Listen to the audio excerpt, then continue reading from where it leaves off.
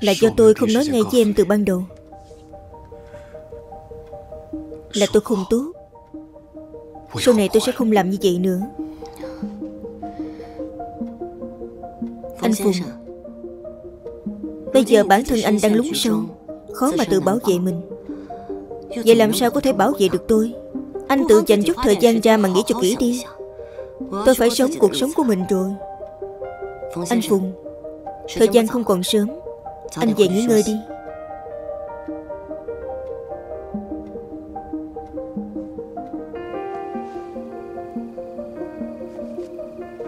Hằng Khinh.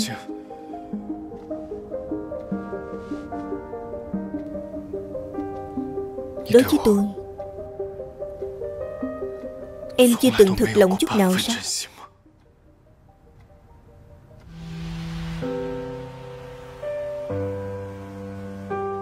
Anh Phùng. Anh là khách hàng của tôi. Đối với khách hàng Tôi chưa bao giờ có chút thật lòng nào hết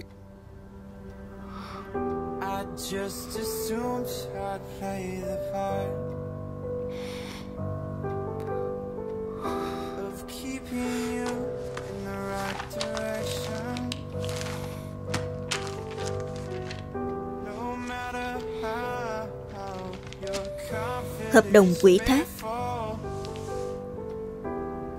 Lúc trước tôi từng hứa với em Sẽ giúp em thoát khỏi sự kiểm soát của ân di. Tôi làm được rồi.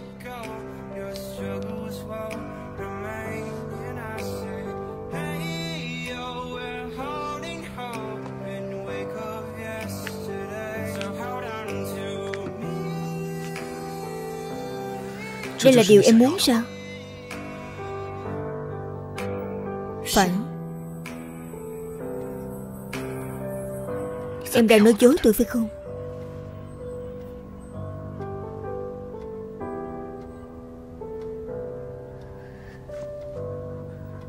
Em đang dối lòng đúng không? Đây có thực sự là điều em muốn hay không? Phải. Được rồi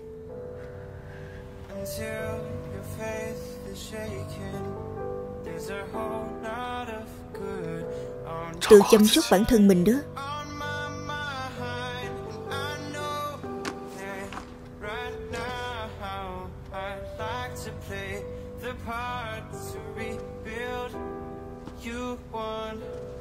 More time. And I said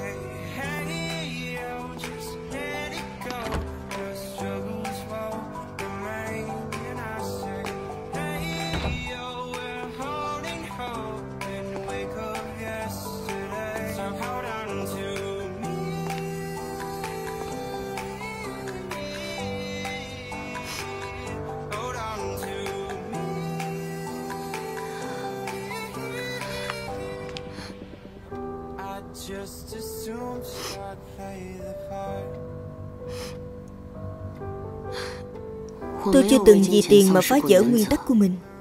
Nhưng giờ phút này Vậy mà tôi đã hy vọng tôi chỉ yêu tiền. Vì chỉ có yêu tiền Thì mới không bao giờ mất kiểm soát. Anh Phùng Tôi xin lỗi. Hãy tha thứ cho sự bất đắc dĩ này của tôi.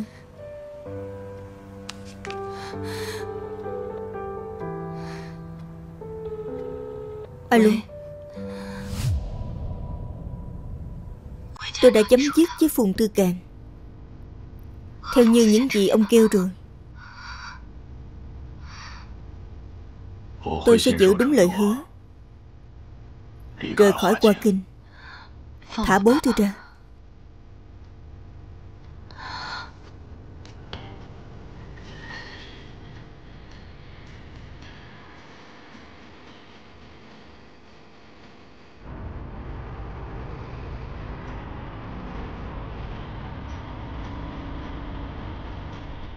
Tập đoàn Hoa Kinh.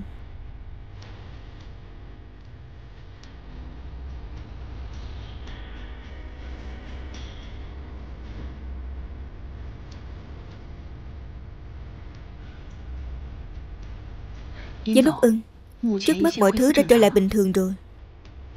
Cô ta đã từ chức rồi. Cô cứ yên tâm đi Có vấn đề gì tôi sẽ báo cho cô biết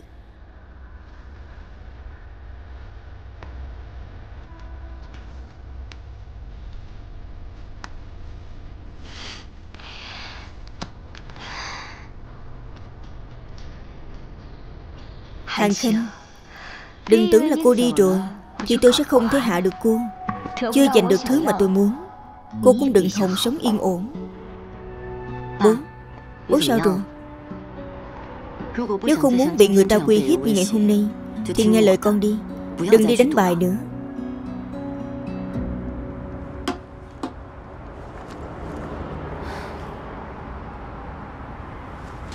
Hàng Khanh Cô đứng lại đó. Đi đâu vậy? Còn chưa chụp được cô mà, Phải đó. Định đi đâu đây? Lúc trước cô phá hỏng chuyện tốt của tôi. Bây giờ cô mất đi chống lưng rồi rơi vào tay của tôi. Để tôi xem cô lấy gì mà đắc ý. Lên hết đi. Chính là cô ta. Tự xưng là chuyên gia cứu giảng hôn nhân, Nhưng thực tế là chỉ nhắm vào lợi ích, Phục vụ cho kẻ có tiền. Chính cô ta đã theo dõi tôi phi pháp, Đặt điều bịa chuyện, Phỉ bán tôi là kẻ thứ ba. Chính là cô ta, Hãy nhớ rõ cái mặt này. Cô ta là đồ lừa đảo. Hãy theo dõi chúng tôi nha. Chúng tôi đang livestream. Mọi người nhìn rõ cái mặt của nó nè. Phải đó, Cô ta vì tiền thôi. Hàng Khanh. Không có phụng tư càng. Cô không là cái thá gì cả. Mọi người nhìn cho kỹ. Cái con lừa đảo này đang bị chạch trần đó. Phải đó, Đúng là đồ lừa đảo. Đúng là cô mặt dày Phải rồi. Sao vậy? Tìm được trợ lý hàng rồi Hình như cô ấy đang gặp rắc rối. Chủ tịch Phùng anh mau tới đi. Cái gì chứ?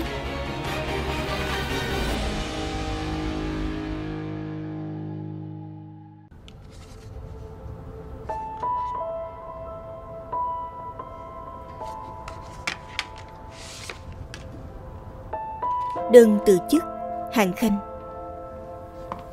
Kế hoạch thu mua bàn bạc tới đâu rồi cháu rể? Giám đốc Lâm Anh lo cho bản thân mình trước thì hơn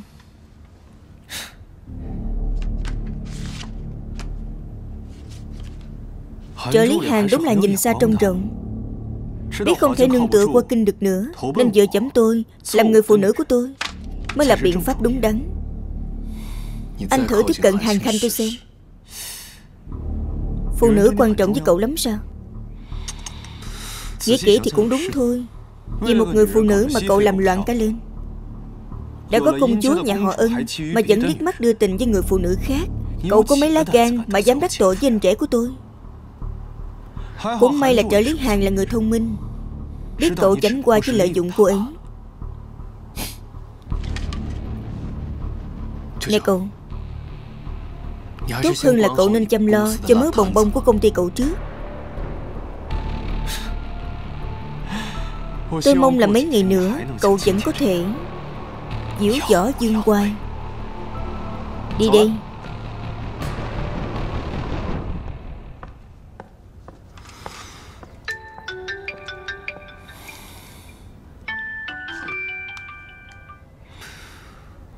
Chuyện gì chị Chủ tịch vùng đã tìm thấy trợ lý hàng rồi. Hình như cô ấy gặp rắc rối. Anh mau tới đi. Cái gì? Phải Chính là cô ta. Mọi người hãy nhìn cho kỹ đi. Đây Các cô tự nhìn mình đi. Công việc của hàng khanh tôi Là giúp đỡ bên bị phụ lòng trong hôn nhân. Bảo vệ quyền lợi của họ trong trường hợp Là không vi phạm pháp luật. Ở đây hàng khanh tôi xin thề từ trước tới nay chưa từng làm chuyện gì trái pháp luật Còn các cô thì sao? Các cô có dám thề không? Có dám thề mình chưa từng chen chân vào hôn nhân của người khác không? Hả? Hàng Khanh Vậy cô chân chân và cuộc hôn nhân của chủ tịch Phùng tập đoàn Hoa Kinh Rồi bị đuổi khỏi công ty là chuyện gì đây? Hàng Khanh, Không có Phùng Tư Càng Để tôi xem cô quên quan tự đắc tới cỡ nào. Ai nói với cô trợ lý hàng bị đuổi ra khỏi Hoa Kinh? Cô ta không bị sa thải sao? Đúng là cô ấy có nộp đơn từ chức cho tôi, Nhưng tôi vẫn chưa duyệt mà.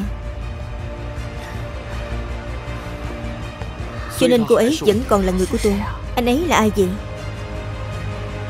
Sao đây Vẫn còn quay sao?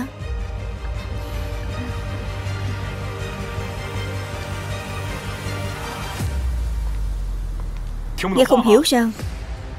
Còn chưa chịu đi. Đi thôi đi thôi. Hùng dữ quá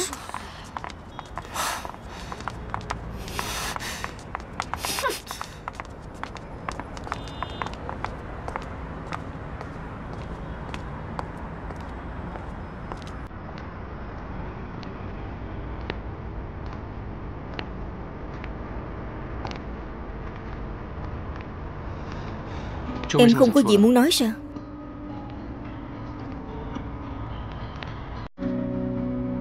Những gì muốn nói tôi nói hết rồi mà. Sao vậy? Thời tiết đẹp cho nên xuống đây đi dạo sao? Tôi sợ em bị ức hiếp.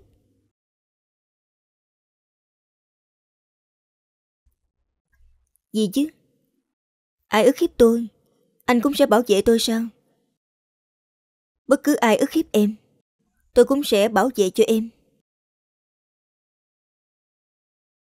Lấy tư cách gì chứ? Phùng phu nhân thì sao? Anh đúng là biết nói đùa. Hãy subscribe cho kênh Ghiền Mì Gõ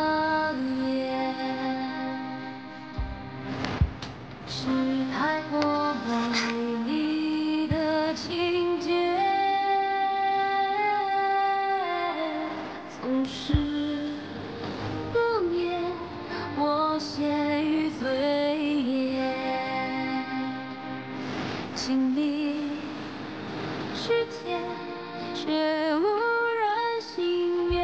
Xin lỗi, Phùng Tư Cạn Tôi không còn lựa chọn nào khác, Cũng không được quyền lựa chọn. Hãy subscribe cho kênh Ghiền Mì Gõ Để không bỏ lỡ những video hấp dẫn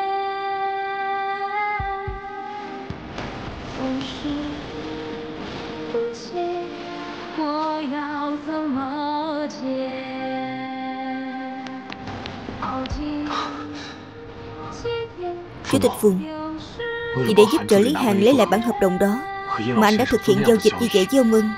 Có đáng không?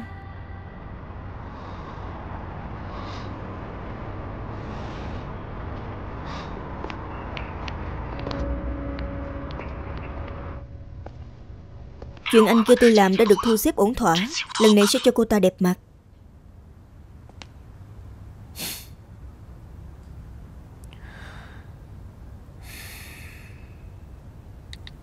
Kỷ Duy Quân sắp ngồi tù rồi. Chứ không định làm gì sao?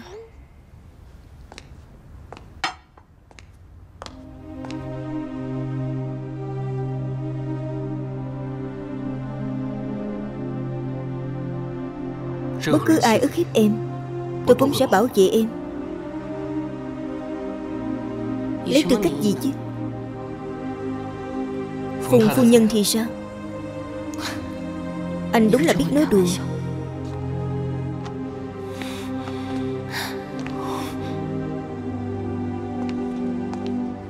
Đứng trước sự sống còn. Tình yêu luôn là thứ yếu ớt và vô dụng nhất. Em chưa từng hối hận vì đã gặp anh. Nhưng mà lần này, Thật sự phải tạm biệt rồi. Phùng Tư càng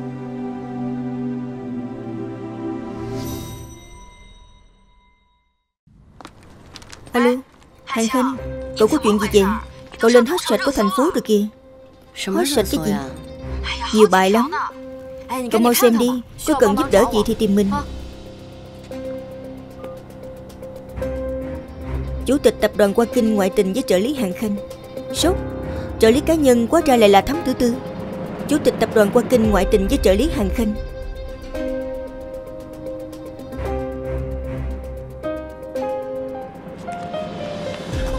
Nhanh lên nhanh lên. Hàng Khanh Về chuyện cô chân chân vào cuộc hôn nhân với Phùng Tư Càn và anh Di Cô có suy nghĩ gì không? Điều này có đi ngược lại với mục tiêu ban đầu của cô Với tư cách là người cứu chữa hôn nhân không? Mau tránh ra. Đi với tôi. Lùi lại đừng chụp nữa. Này có hàng à Lùi lại đi.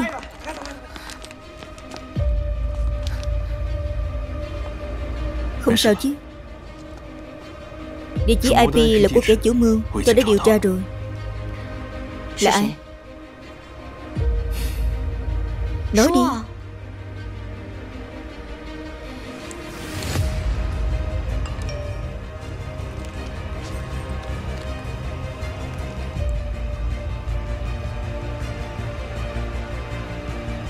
Là cô ta. Hàng Khanh Lần này là cô nợ tôi. Cảm ơn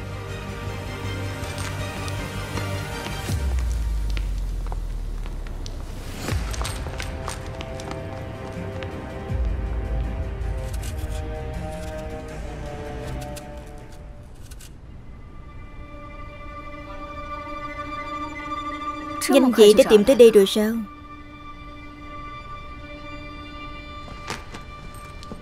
Mối quan hệ của chúng ta kết thúc rồi. Cô không thể buông tha cho tôi được sao? Hàng Khanh Đây là điều mà cô đáng phải chịu. Kỷ Duy Quân đã bị bắt rồi. Là do Phùng Thư Càng làm. À không Nói cho chính xác thì là cô Là cô làm mới đúng. Tôi tìm cô tới là sai rồi Ngay từ ban đầu đã cực kỳ sai lầm. Đồ tiện nhân Cô đúng là điên thật rồi Cổ phần của nhà họ ân chúng tôi Đều đưa cho Phùng Tư Càng cả rồi. Tại sao hắn vẫn không chịu buông tha cho tôi? Bắt tôi làm một phùng phu nhân có tiếng mà không có miếng cũng thôi đi. Bây giờ Ngay cả người tôi yêu mà cũng muốn ép chết là sao? Tôi không biết sự việc thành ra như vậy. Cô là không biết thật Hay là đang giả khờ đi? Phùng Tư Càng đã yêu cô rồi. Bảy ngày trước Xin ngài Hãy quỹ hợp đồng với ân Di và Hàng Khanh Tôi biết ngài có thể làm được. Điều kiện là gì? Tôi sẽ tiếp tục ở lại tập đoàn Hoa Kinh Làm con rối Và đau phủ cho ngài. Còn về chuyện tái hôn thì tuyệt đối không thể. Chỉ vì người phụ nữ đó thôi sao? Cũng là vì bản thân của tôi. Vì cô mà tới toàn bộ quan kinh anh ta được không cần nữa. Cô muốn làm gì đây? Tôi muốn giết cô.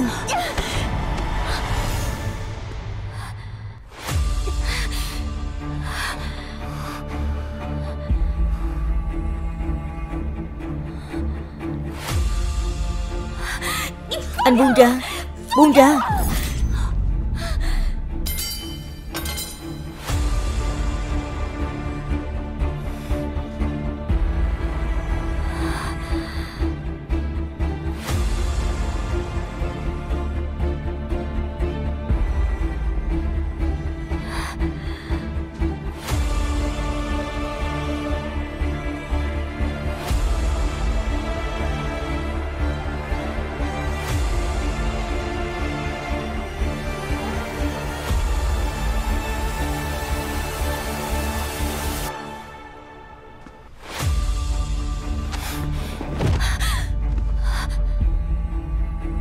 cảnh cáo cô.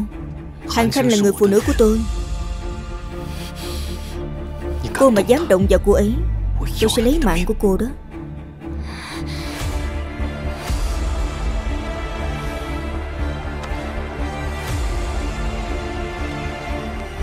Quay lại đi.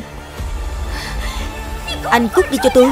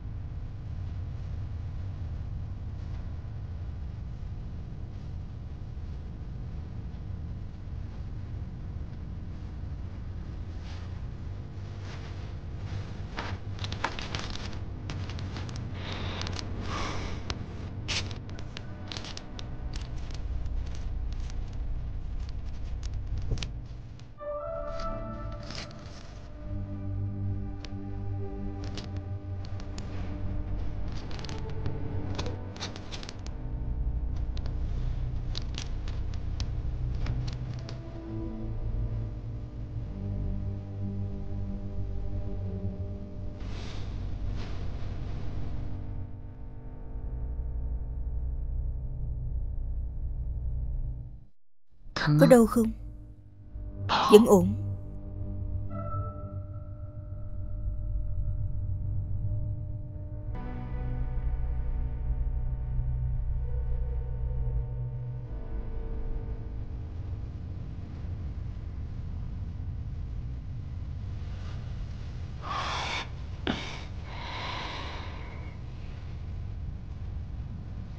Tại sao lại giúp tôi? Hợp đồng của chúng ta xong rồi mà. Tôi và anh không nợ nần gì nhau hết.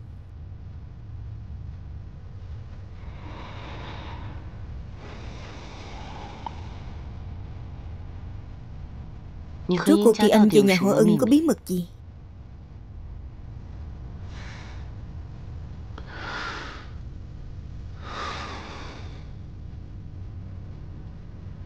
Có một chàng trai trẻ Bố mẹ mất sớm.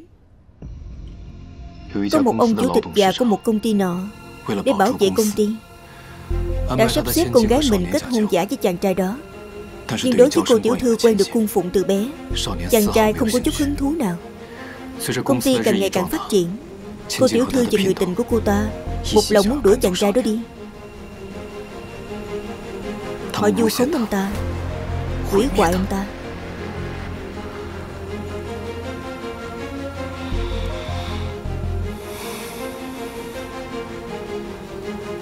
Em nghĩ coi hai người như vậy Liệu có tình yêu không?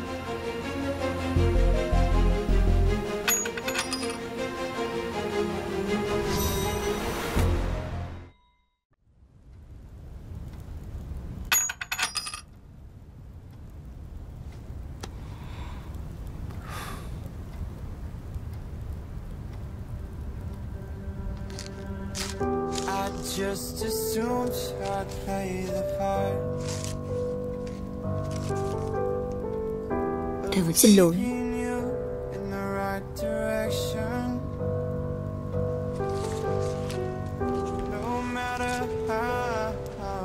Anh rất rõ là tôi lừa anh. Vậy mà còn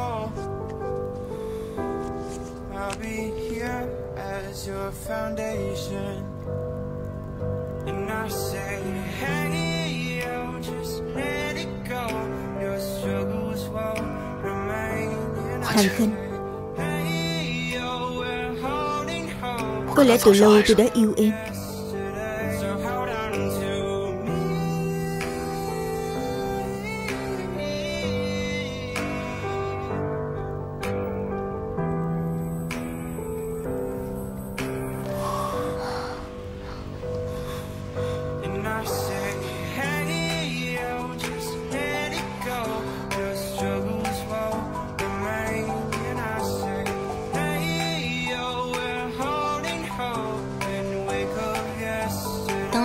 săn quá coi thường mối nguy hiểm trước mắt. Cuối cùng họ cũng sẽ trở thành con mồi của kẻ khác. Anh Phùng, Dường như em vẫn đã thua anh.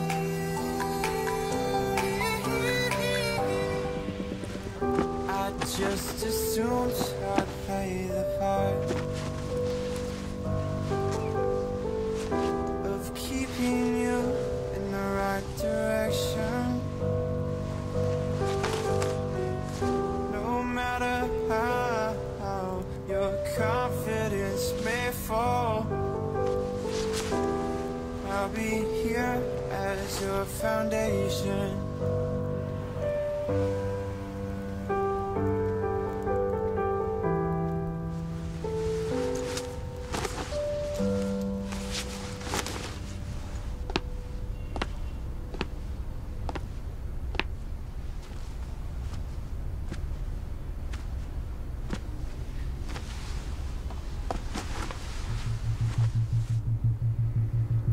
Suýt nữa thì cô gây quả lớn rồi đó cô biết không? Chào mừng anh Chủ tịch Phùng Chỗ của tôi đây Không thể so với căn nhà rộng lớn của anh được. Ân gì? Sự nhẫn nại của tôi đối với cô là có hạn. Bố của tôi tính toán đủ đường. Cuối cùng lại dẫn sói vào nhà. Anh đúng là vô liêm sĩ đỡ giao cho người phụ nữ mình yêu. Sướng chứ.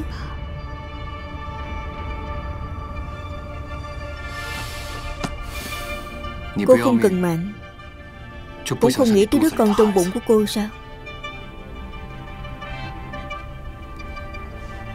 Sao anh biết? Trên đời này không có bức tường nào là không lọt gió. Huống hồ là kỹ duy quân. Anh muốn làm gì? Tôi có thể giúp cô cứu bố của đứa bé ra. Nhưng mà cô phải đồng ý với tôi một điều kiện. Phùng Tư Cà Anh có tư cách gì bằng điều kiện với tôi? Anh chẳng qua chỉ là một con chó mà bố tôi đã nuôi thôi.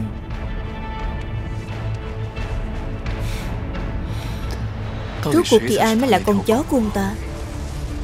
Cô thấy một người luôn coi trọng lợi ích như là ông ưng sẽ đứng về phía chàng rể buồn nhìn. Có thể tạo ra nguồn tài sản vô tận cho ông ta là tôi đây. Hay là cô đứa con gái chỉ biết gây chuyện cho ông ta.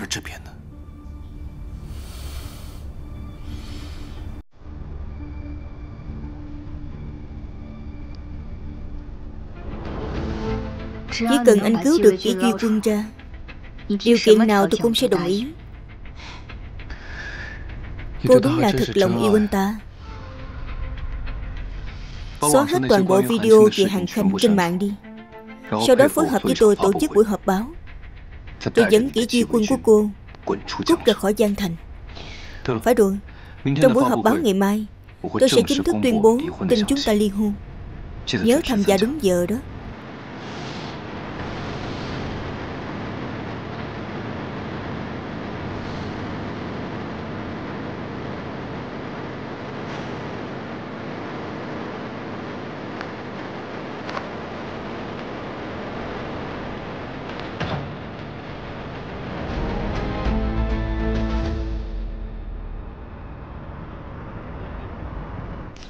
Rất cảm ơn các bạn phóng viên đã tới tham gia buổi họp báo.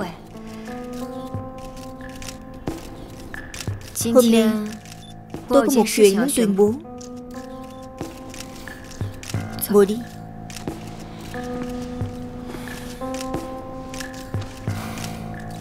Những hình ảnh và video ở trên mạng là tôi ghép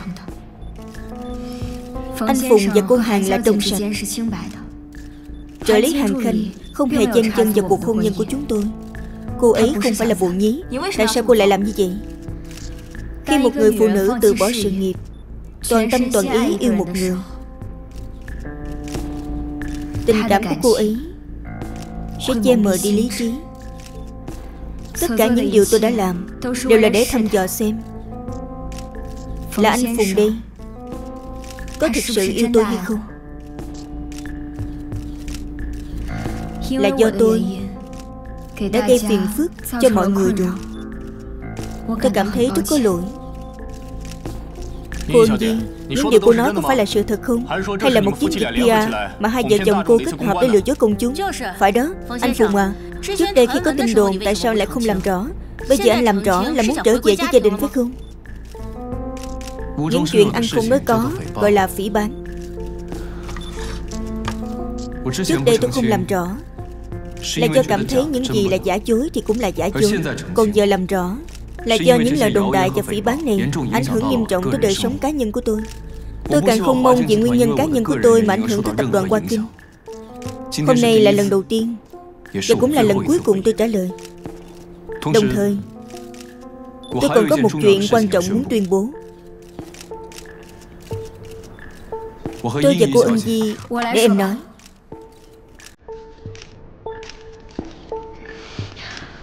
Chúng tôi Đã có con Đây, đây là tin lớn đó. Phải đó, sao lại như vậy chứ? Rốt cuộc là sao?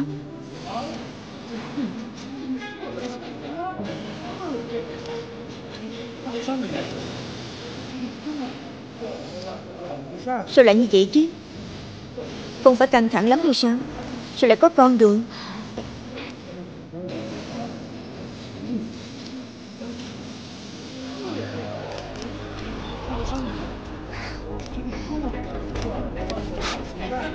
Nè, Đừng đi mà, xin hãy nhận phỏng vấn đi Được rồi, đừng chụp nữa, Đừng chụp nữa, dừng lại đi. Nói vài câu đi mà, Phải đó, Nói vài câu đi. Cho chúng tôi một lời giải thích đi mà. Bào thai này có thực sự là của anh Phùng không?